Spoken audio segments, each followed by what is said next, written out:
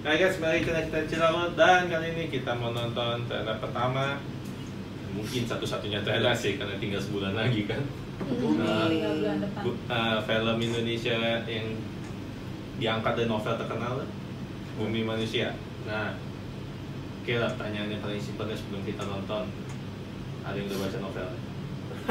Of course, Pak ya. Ada yang tahu tapi ceritanya apa? Tahu, ada Iqbal juga. Enggak, gue tanya ceritanya bukan cerita- pemain Cerita novelnya. Gue taunya ceritanya latar belakangnya ya Belanda sama Indonesia zaman dulu. Iya, Betul. ya, itu gue tahu sih gitu. Tapi katanya di filmnya kan difokusin nggak tahu. Ya ini pokoknya kan novel zaman dulu ya, Iya. Zaman old. Nah, ya si siapa eh, penulisnya Pak Mudia Ananta. Ananta. Heeh. Ya dia juga penulis terkenal di Indonesia. Nah, tapi karena nggak ada yang belum ada yang baca ya novelnya, belum ada yang dan ceritanya juga cuma pada tahunnya ini Iya, settingnya di. Belanda. Jadi Iya. Emang settingnya di Indonesia bukan? Eh enggak ya, settingnya di Indonesia di zaman penjajahan Iya, Belanda. Belanda. Iya. Dan ini ini apa sih tentang kulturnya si Eropa ya, Iya, yang si kulit putih ya. sama si pribumi Pokoknya gitu ini kan. menyangkut kehidupan sosial di zaman dulu, eh, di zaman penjajahan Belanda. Nah, jadi Oke. anggap aja ini opini dari fans-fans, eh bukan fans, kok fans sih, opini dari penonton yang mm, belum yang Pernah yang baca. awam, yang awam, Yang yang awam. yang, yang awam. Hmm, Ya. ya, oke, kita mulai aja.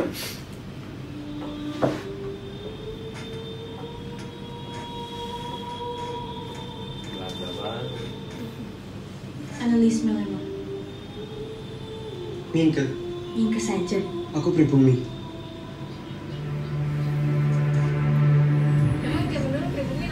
Oh, iki bocah terpelajar, siswa HPS. Kenapa tinggal serumah sama Nyai? Bude? Hah? Dasar bocah edan. Ibu kok pribumi? Jowo. Aku gak kelem tadi Indo. Aku kepengen koyo mama. Pribumi.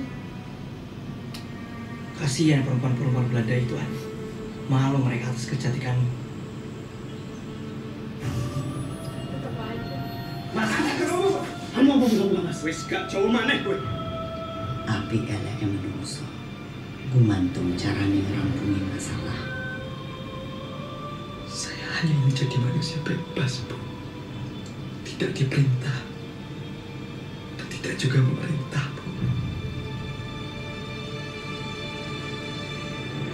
Siapa kasih kowe izin datang kemarin monyet?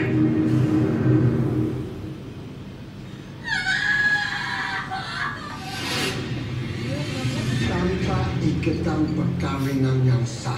Kau orang yang paling diuntungkan dalam kasus kematian Herman Mehta. kita akan menjadi pribumi pertama dan melawan pengadilan kulit putih Apakah perbudakan Eropa jauh lebih benar daripada ikatan cinta yang jujur Mas, apa akan lari dari kami?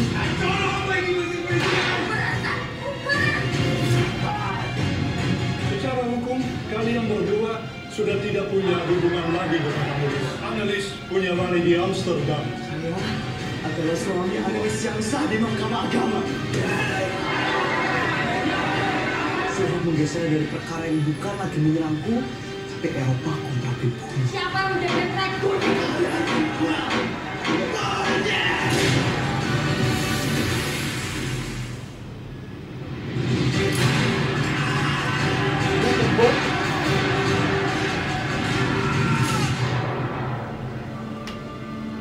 Beruntung sekali umur beliau berada di sana.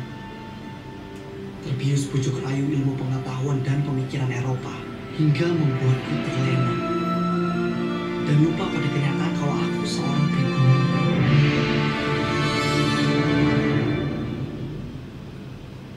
Oke, didukung oleh Chris. Jadi tadi yang gue tangkap itu Indo dan pribumi beda. beda maksudnya Indo itu campur Hmm. half Oh. jadi half uh, bule Hmm. half Indonesia Kalau tadi kayak ibuku juga Jawa, tapi bapaknya Belanda. Ah, oke Dia Lah. anaknya mau jadi pribumi aja. Ya. ya ini ceritanya sih jelas drama banget ya walaupun kayaknya drama eh, drama romantis drama romantis yang dibumbuin sama culture dulu cerita culture zaman dulu kayaknya gitu sih gue gak tau nih cerita culture zaman dulu yang dibumbuin sama eh, drama roma drama culture zaman dulu yang dibumbuin sama romantis atau drama romantis yang dibumbuin sama culture zaman dulu gue gak tahu sih bakal jadinya gimana sih mesti nonton filmnya mungkin kalau itu buat tahu. Nah tapi anyway iseng aja ini mau nanya. Tadi kan isinya ada orang Jawa. Bapak gua. Setengah. setengah ah itu bukan. Nah ya kalau gue udah obvious bukan. Oh gitu. Kalau gue udah cukup obvious bukan. Nggak tahu. Mungkin pertanyaan simpelnya aja. Aksen Jawanya gimana tadi kalau yang ngerti ya? Oke aksen jawabnya oke cuma ya kelihatan yang ngedok tuh nggak sampai ngedok. Oh, oke gitu ngedok iya, tuh iya. nggak sampai ngedok tapi emang kelihatan sekali cowoknya. Ya oke lah kita kan yang mana yang emang coba asli lah ya. Nah oke gue cuma tanya nih Sam ya gimana? Sama ceritanya ya kurang lebih ngerti nggak ceritanya? Ngerti. Ngerti sih. sih cuma agak berat kayaknya kayaknya ya kalau itu itu oh iya iya iya. Eh, ini katanya filmnya sampai 3 jam 2 jam 52 Anjir. menit Wow. sama kayak Van der Wijk dong. Ah, iya, sampai sama Van der. Oke, Van der Beek kayaknya sedikit lebih panjang ya Van der Beek. Iya. Ya, cuman nggak tahu lah pokoknya segituan deh 2 jam 50 Wow. menit. Nah, ya. iya. Kenapa yang Belanda-Belanda gitu lama-lama ya Van ya mungkin nggak bisa nggak bisa dipotong Nah, tapi kan katanya novelnya juga emang panjang jadinya ya. Tebel. Dan ini aja katanya cuma Oh sebagian. panjang sih, tebel. Novelnya tebel. Nah, situ. dan ini banyak yang dipotong Oh panjang ya karena. Iya maksudnya diambil se cuil. Nah jadinya ya emang filmnya nggak bisa pendek juga. Hmm. Nah, ya gimana? Tadi oke, oke oke. Ya kalau gue bilang, ya Indonesia kan biasanya cuma satu trailer kan. Jadi sih tadi dia kan, harusnya ya? Iya, dia kasih semua ceritanya ini, ini begini, ini begini, begini. Jadinya jelas sih ini tentang apa. Nah, ya lah kalau mau ditanya soal hujan, mah kayaknya nanti soal hujannya digabung sama video yang kita satu lagi deh, yang Iya. tentang film Pramudia adaptasinya novelnya si Pramudia juga. Anak juga. Eh, ah, Oh, iya? ya ada satu film lagi nama nanti bisa ditonton nanti di video kita yang lain. Ah, ah, cuma kalau gue mau bilang eh, satu aja sih ini tanggal 15 Agustus jelas banget sih kenapa tanggalnya dipilih itu. Kemerdekaan. Kemerdekaan Indonesia ini jelas banget sih. Maksudnya tanggalnya oke. satu lagi juga kan tentang Ya, satu lagi juga tentang penjaman penjajahan. Iya, ada, zaman ada jajah. evolusi evolusi juga Nah, sih Ya ini jelas soalnya ini main banget, main apa sih? Emosi nasionalisme banget ya. Dari Iya. Tadi kita lihat sepanjang itu Kita kan orang nasionalisme banget. orang PBB pertama tentang pengadilan kulit putih. Ya, oke guys kalau yang mau eh, nonton video kita yang tentang filmnya uh, Pramudia. Pramudia Ananta Turas yang satu lagi ada. Hah? Lagi. gue baru tahu emang di zaman Belanda orang Belanda yang ngomong bahasa Indonesia ya bukan kita yang Kayaknya kebalik. Mestinya sih kebalikannya ya, bukannya gitu ya? Eh, maksudnya eh, kita yang ngomong bahasa Belanda Bus- bukan mestinya gitu. ya? enggak iya karena setahu gua gua kan pernah ngajar sejarah ya orang Belanda itu jajah kita tiga setengah tahun tapi dia susah untuk ngomong bahasa Indonesia Iya, jadi kita yang mesti ngomong bahasa dia kan. Iya. Ah, tapi bisa jadi di dalam film ini entah diganti Justru jadi ya makanya- dibikin apa ya itu sama aja lah Tunggu, guys. Belanda berapa tahun? Tiga setengah tahun Itu tiga gila ratus Belanda lima tiga. puluh tiga ratus lima puluh tahun Tiga setengah abad kok. tiga setengah abad ya tiga ratus lima puluh tahun si Jepang berapa tiga setengah tahun lagi Nah, Jepang ya. Nah, makanya kan Jepang pernah ngomong ya, kenapa anda begitu bodoh, udah 350 tahun tapi nggak bisa ngomong bahasa Nah, pokoknya bi- bisa jadi ini kan film buat digampang. Iya, Buat- karena buat film gua, ini. nah. Malah tadi kok Karena sadar. bahasa Belanda susah banget. cuy. Ya, ya. Malah tadi ada adegan yang orang Belanda ngomong bahasa Jawa ya, Nah. Koe. Nah, ya itu kan sama kayak Monyet.